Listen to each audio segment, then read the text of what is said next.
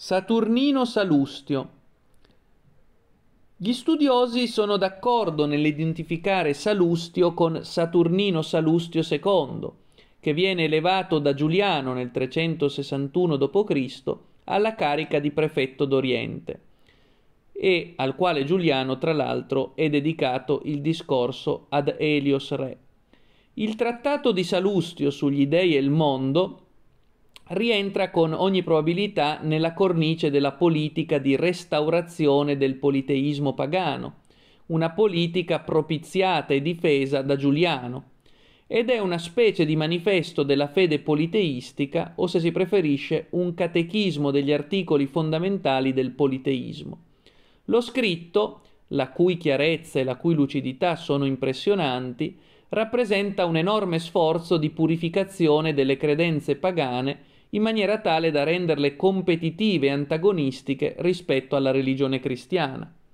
La massima parte delle idee illustrate nel trattato di Salustio sugli dei e il mondo non sono in verità molto originali. In alcuni aspetti però Salustio, per via della rivalità con la concezione cristiana, sviluppa alcune tesi innovative. Ad esempio Salustio dice che la provvidenza esiste per i popoli, per le città e pure per l'uomo singolo. In relazione all'origine del male, Salustio dice che nulla è male per sua natura. Le cose divengono malvagie per le azioni degli uomini, o meglio, di alcuni uomini. E poi, dice Salustio, il male non è compiuto dagli uomini per sé. Il male è compiuto dagli uomini da che si presenta falsamente sotto il sembiante di un bene, come già in qualche misura aveva insegnato Socrate, secondo la dottrina che va sotto il nome dell'intellettualismo socratico, dottrina in coerenza della quale, diceva Socrate, gli uomini commettono il male semplicemente perché lo scambiano per il bene e dunque si illudono di compiere il bene mentre stanno facendo il male. Dunque, dice Salustio sulla scorta di Socrate, i mali si originano sempre e solo a causa di una falsa valutazione dei beni. La conoscenza dell'esistenza degli dei per Salustio, come per tutti i neoplatonici, è naturale. L'ateismo viene in tal guisa considerato alla stregua di un castigo. Queste le parole di Salustio in Sugli dei e il mondo. Non è infine inverosimile che anche l'irreligiosità costituisca una forma di castigo, dato che è ragionevole supporre che quanti, in una vita anteriore, ebbero modo di conoscere gli dei ma non li tennero nel debito rispetto, siano privati in una vita successiva anche del privilegio della conoscenza degli dei. Così come era necessario che Diche, giustizia, facesse precipitare lontano dagli dei veri quanti onorarono i propri re come dei. I demoni, dice Salustio, non sono i soli a punire le anime, è anche l'anima stessa che dà a se medesima il proprio castigo. In tal guisa Salustio recupera la dottrina della metempsicosi o reincarnazione che dir si voglia. Così scrive sempre nel trattato sugli dei e il mondo.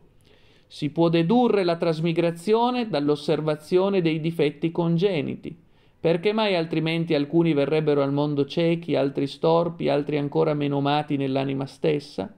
Così come dall'osservazione che le anime, che sono atte per natura a reggere un corpo, non possono, una volta salta, saltate fuori da quello, restarsene a poltrire per l'eternità. Queste sono le conclusioni che troviamo nel trattato di Salustio, già citato, sugli dei e il mondo. Felici sotto ogni rispetto, in particolare separate dall'anima irrazionale e pure da ogni contatto corporeo, le anime che abbiano vissuto secondo virtù si uniscono agli dei e reggono con quelli il mondo intero. Ma anche se nulla di tutto ciò fosse vero, senza contare il piacere e la gloria, che da quella discendono insieme a una vita priva di crucce senza servitù, la virtù stessa basterebbe da sola a render felici quanti scelsero di vivere secondo virtù e ne furono capaci. Insomma, Salustio con la sua opera prova a dare vigore alla restaurazione del paganesimo in funzione anticristiana.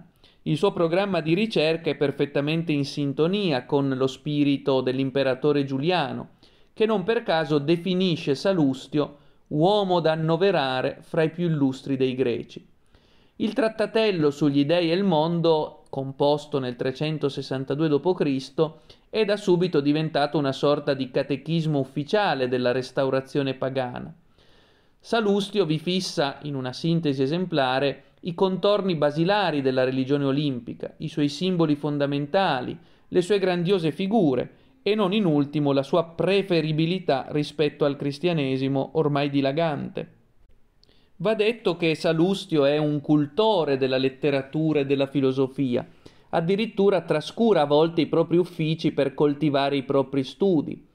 Proprio a Salustio è attribuita la composizione del testo già più volte citato, Gli dei e il mondo, in greco Perizeon kai Cosmo, una sorta di catechismo ufficiale dell'ultimo paganesimo.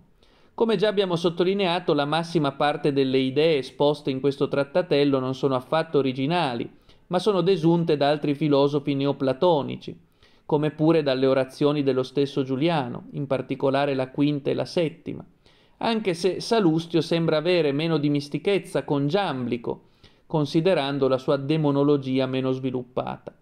Certo, vi sono anche, come già detto, elementi originali nel pensiero di Salustio, ma in ultima istanza possiamo dire che il suo merito è quello di aver riproposto tesi vecchie con un obiettivo nuovo, quello di contrastare il cristianesimo riproponendo una, eh, un ritorno alla paganitas, ritornando cioè alla religione pagana e politeistica.